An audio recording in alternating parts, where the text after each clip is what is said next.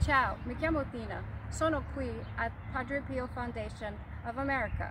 Sono qui con mia mamma e lei vuole dire qualche parole di come la virus, la coronavirus, ha, ha cambiato la famiglia non solo nostra, ma tutte le famiglie in America.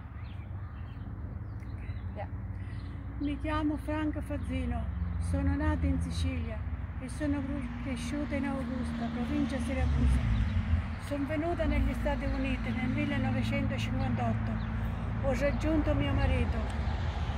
Molti di noi nelle generazioni più anziane hanno già visto pandemie e periodi di guerra. Anche se i tempi sembrano bui, tutti stanno attraversando questi tempi difficili. Devo credere che le cose alla fine torneranno normali. Forse è diverso da prima, ma le persone sono resistenti e si adatteranno. Tutti abbiamo bisogno della speranza, delle preghiere e della convinzione che Dio ci farà soffrire inutilmente e non ci abbandonerà. Parlo con i miei parenti ancora in Italia e guardo la RAI in tv, quindi conosco le crisi che ah, stanno attraversando anche loro.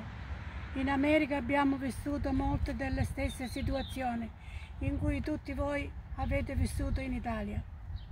Molti decessi, perdita di posti di lavoro, famiglie separate incapaci di partecipare a momenti felici e, salut salutare i propri cari che hanno perso a causa del coronavirus.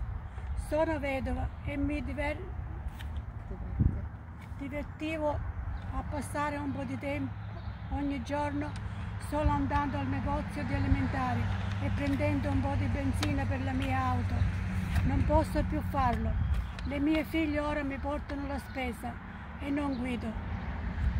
È difficile per me, una donna di 80 anni, rimanere a casa e non socializzare. Posso solo immaginare com'è per le, per le nuove generazioni che hanno mai assistito a una crisi come questa.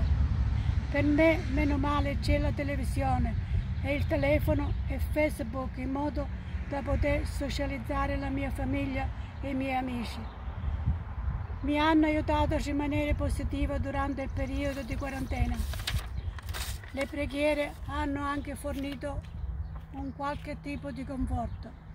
Cerco di concentrarmi maggiormente sulle mie benedizioni e di rimanere fiduciosa che saremo tutti in grado di abbracciarci di nuovo, come prima.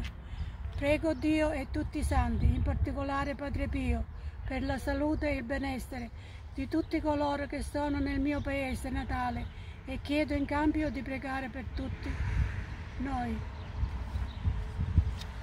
Amen, Padre Pio.